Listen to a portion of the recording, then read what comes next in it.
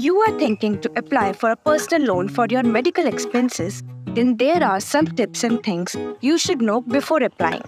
Number 1. Understand the terms and read all the loan details carefully. Number 2. Check your credit score because a higher credit score generally results in lower interest rates. Number 3. Compare loan offers from different lenders. Number 4. Do not make multiple loan applications. Number 5. Seek professional advice from a financial advisor who can help you understand how the loan might affect your overall financial situation. And number 6. Check for some alternative options such as government assistance programs, health insurance coverages, or crowdfunding. Also, remember, Milaap is always here to help you when you have run out of all the options in times of need.